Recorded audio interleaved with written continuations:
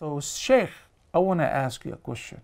You said tawaf requires full tahara, wudu, and obviously tahara from the major impurity. Not only the major, but also the minor. What if halfway when I was performing tawaf, I lost my wudu? Interrupt your tawaf.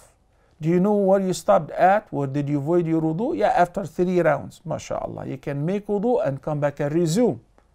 Or you can start over if you want to. Both are correct. While the sa'i, at-tahara is not a condition for its validity. So if somebody happened to void their wudu, they can resume. It's permissible. It's better though to have tahara throughout. But it would be permissible to resume, which also means that women during their menses can do sa'i, but not tawaf. But you know that in the umrah we begin by tawaf, then we follow that by the sa'i.